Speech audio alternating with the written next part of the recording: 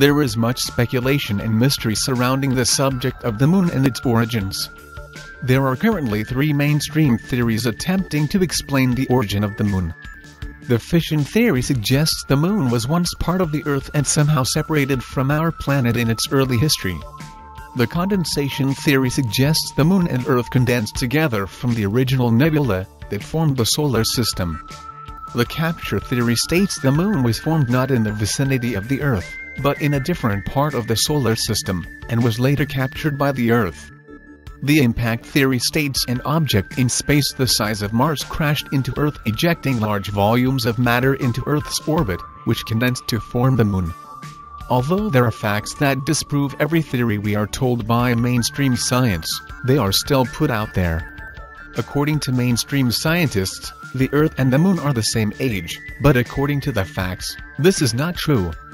Some moon rocks are as old as 5 billion 300 million years old, and others are as old as 20 billion years. The Earth itself is said to be 4 billion 600 million years old. Elements such as uranium-2, 36 and neptunium-2, 37 were discovered in lunar rocks, and are not found naturally on Earth. This fact, and the age of lunar rocks disprove the fission, impact, and condensation theory. Scientists also discovered that the moon contains heavier elements on the surface. The crust is composed primarily of ilmenite, a mineral containing large amounts of titanium, uranium-2, 36 and neptunium-2, 37.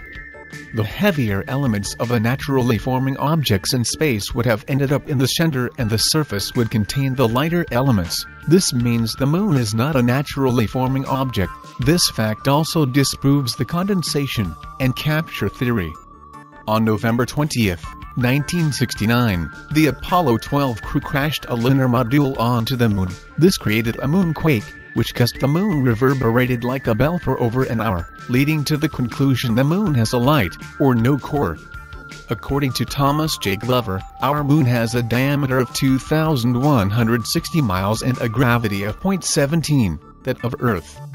NASA's more accurate moon gravity figure is 1.6, with a current orbital speed is 19,051 miles per hour. The Moon's density is 3.3 times an equal volume of water, while Earth's average density is 5.5 times that of an equal volume of water. The fact that the Moon is only 60% as dense as Earth has led scientists to two theories, that the Moon is without an iron core, and possibly, is partially hollow. Data and computations point to the conclusion that our Moon is internally hollow to a great extent. Since most scientists claim that there is no natural explanation for such a peculiar phenomena, the inevitable conclusion indicated that the Moon is artificially hollow. Our Soviet theorists agree. Isaac Asimov, a Russian professor of biochemistry and writer of popular science books, said by all cosmic laws, the moon should not be orbiting Earth. He went on saying, we cannot help but come to the conclusion that the moon by rights ought not to be there. The fact that it is, is one of those strokes of luck almost too good to accept.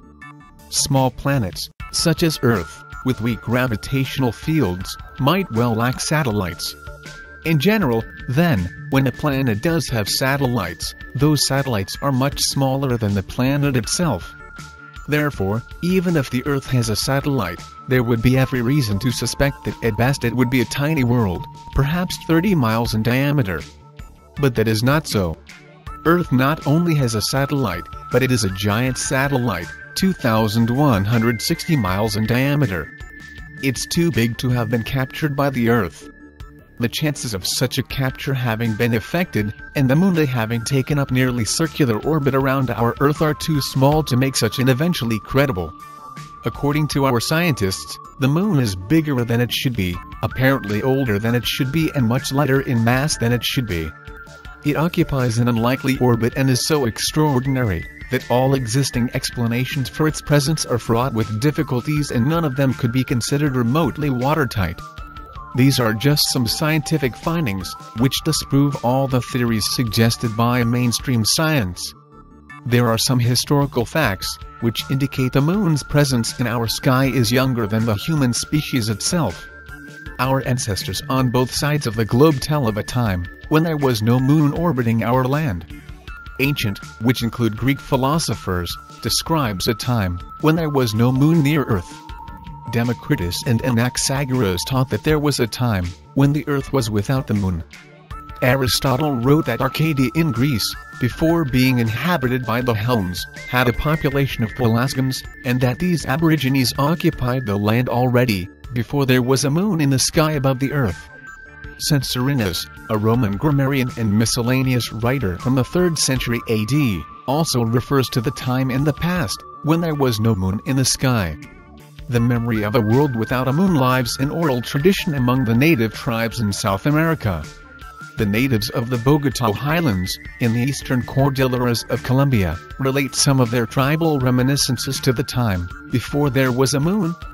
In the earliest times, when the moon was not yet in the heavens, as described the tribesmen of Chibchas.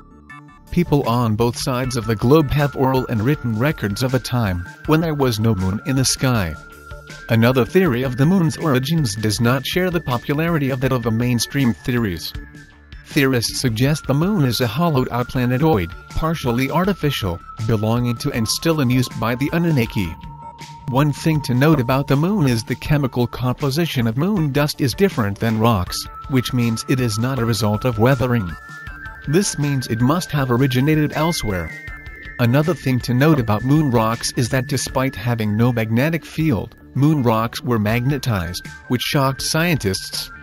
If you believe the Earth does not have a solid, or molten interior, and is hollow, one thing you may wonder is where does the Earth's magnetic field come from?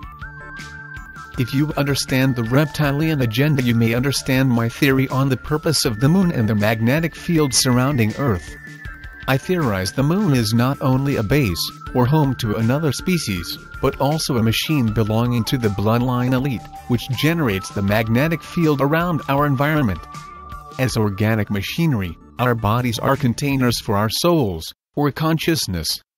As soon as a conscious being, human or not, dies on Earth, he or she is trapped in this prison planet, with the magnetic field as a net, keeping us from escaping the matrix controlled by the reptilian elite. We are forced to reincarnate here, to be used as a cheap energy source, and be their eternal slaves.